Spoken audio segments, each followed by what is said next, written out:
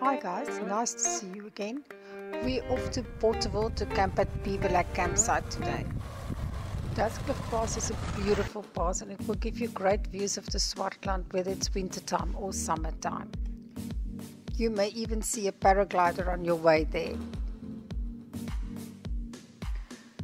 Turn to your left at the top of the pass and then you just follow the signs to Beaverlac campsite. We always appreciate the no noise and no music policy at the campsite.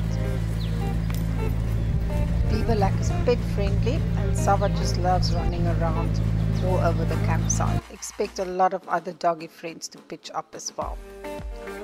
There's no electricity so it's a nice opportunity to play around with your solar panels.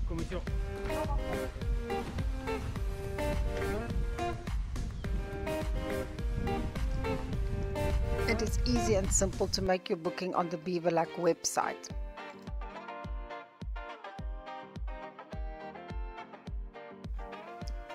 Just go to www.beaverlac.co.za, register and then you can book.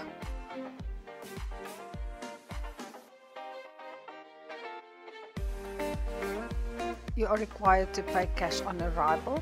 There's no EFT or credit card facility, so be prepared when you get there. It's a long way back to the town to get money.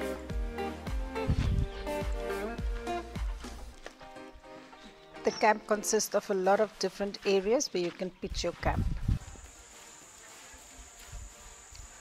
Most of the camp has lots of trees and shades and you will definitely need that in summertime.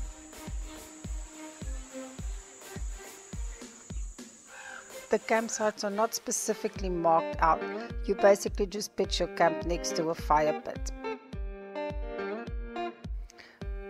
By now, you know we like a fire pit on the ground. We just love to sit next to a warm fire in the evenings.